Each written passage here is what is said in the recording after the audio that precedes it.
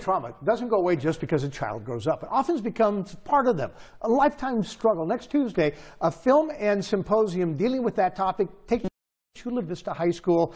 Really an important event, folks. Here with details, Kathlyn Mead, President and CEO of the San Diego Foundation. Now, normally, your foundation gets money and causes together. Yes. This is getting people and people together. Absolutely. Our Malin Burnham Center for Civic Engagement is about bringing people together.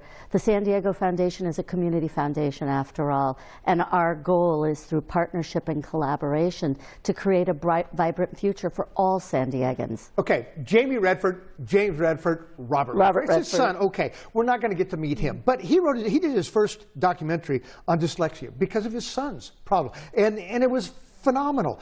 This, I'm assuming, certainly draws from that, his own experiences.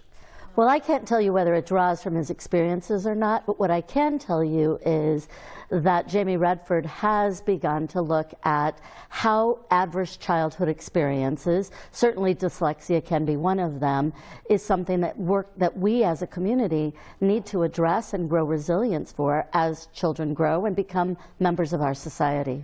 Catherine, I wish we could talk on this for three minutes. It is such an important topic. Let's get to the event real quick. It's going to be next Tuesday, the 21st, in the afternoon. Afternoon, Chula Vista High School. Okay, educators, psychiatrists, pediatrics, anything to do with our children, you got to be there. It's going to be worth it. All right, guys, back to you. Thank you.